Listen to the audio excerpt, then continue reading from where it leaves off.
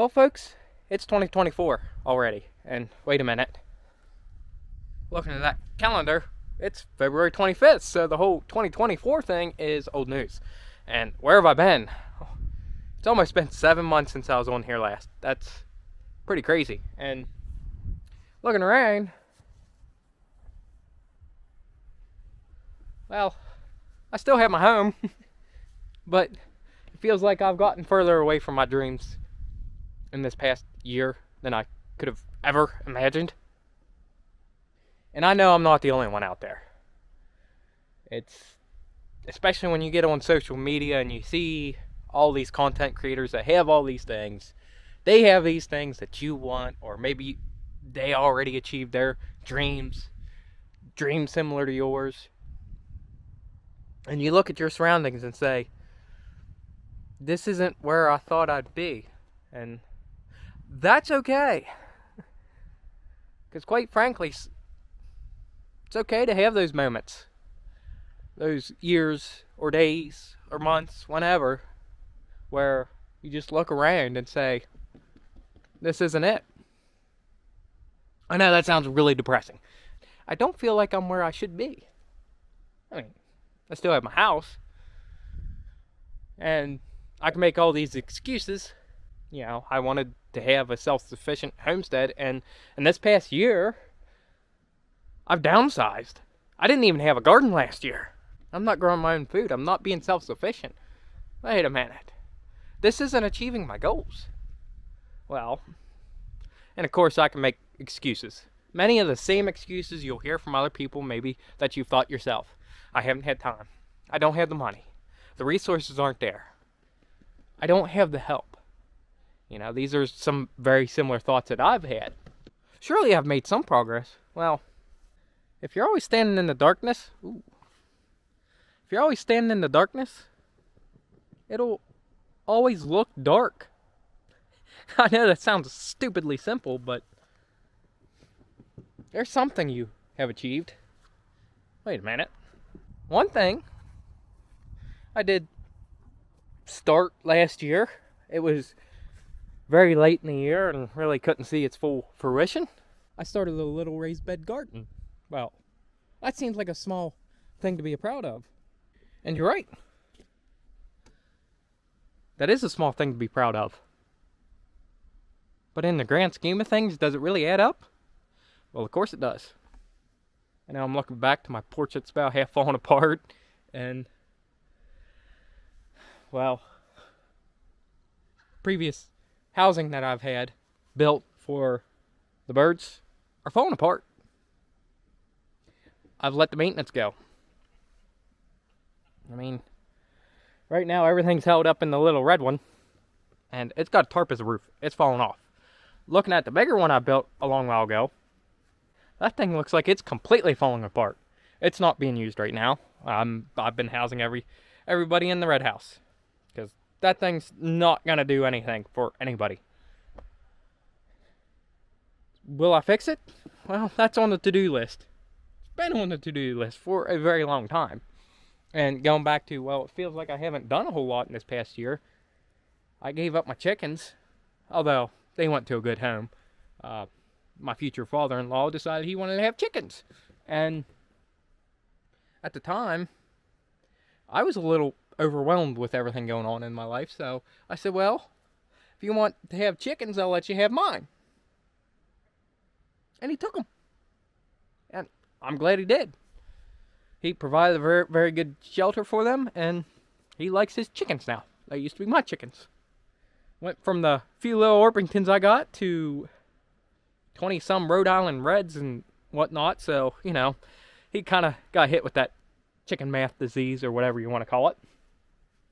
But, well, what else have I done? I gave up my chickens. I didn't have the garden. Wait. I got fruit trees now.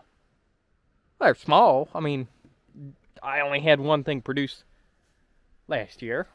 Here's an apple tree. The poor little fella, it got ate up by deer. And, you know, looking at those things, like, how am I going to achieve my goals? It feels like I'm not achieving any of them. And even what I do have, it just doesn't feel like it's where it should be. But there is something I can do. If you look, it got some of the tips broken up. I know, I got my little scissors out. One thing I can do, maybe, if these are heavy duty enough. Okay, maybe not.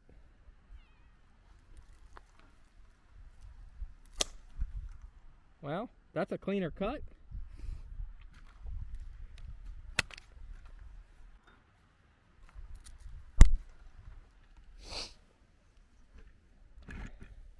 And just like that, I'm one step closer. Closer to what? Well, it's back to that self-sufficient goal. This tree was likely going to die off if I left those wounds open and rough. And if you look at it, I don't know how well it's going to be on camera, but there's still life there. You can take these broken things and bring life into it. Well, of course, that's not my only fruit tree. I have a very healthy mulberry tree growing. In fact, this has been quite the producer last year for as small as it is. I know some people are like, well, duh, it's a mulberry tree. They're a nuisance more than anything. Well, and with it being February, if you're looking really close, there are some buds on there. Life is coming back. My other apple, what's much healthier than the other one, but it did not get destroyed by deer. But, well, the deer have to eat too. And hopefully we don't get any too big, too many of the big freezes anymore because I got a little peach tree. And that thing's budding like crazy right now. We will be having leaves on this thing probably sooner than we expected. Of course, these trees are a little young to be pruning, but there are still a few cuts to be made, a few things to do. And just like that, I've achieved another step. It takes a long time to achieve anything great. And I know one thing that I've been kind of struggling with recently is just I feel like I have the lack of money and the lack of resources. A new year is here, and it's time to make progress. I'm going to stop letting the time issue be an issue. If I have to, I'll take a day off of work. That's what vacation days are for. Next project we gotta get that house fixed. Well, that's gonna require a roof. And that's about it. Next step, get the garden ready. We're having the garden again this year. There's no reason I won't. You don't need 20 acres. Just a little bit. You'll make far less mistakes with a little piece than you will with a big piece we are given these small packages to deal with everything that comes our way. Whether that's a sense of time, don't worry about next year when this hour ain't even over yet. Only you can be great. And only I can change the things in my life. And that goes for you as well. Money is just a thing. Time is the important thing we have. How are you going to spend that time? I appreciate y'all listening to me ramble on a little bit, especially as I'm a little quiet and tired from a cold I've been getting over. But don't let things get to you. You are your own maker.